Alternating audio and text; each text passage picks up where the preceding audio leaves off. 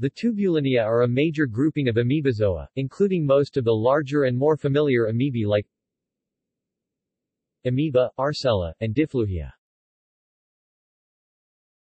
Characteristics During locomotion most tubulinea have a roughly cylindrical form or produce numerous cylindrical pseudopods.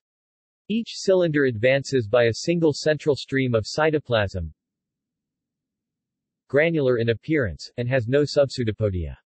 This distinguishes them from other amoeboid groups, although in some members this is not the normal type of locomotion.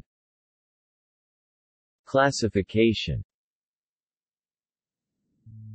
This class was anticipated by some biologists like Jahn, who grouped all amoebae with granular pseudopodia together, but most split the lobose amoebae into testate testacealobosia and naked gymnamoebia.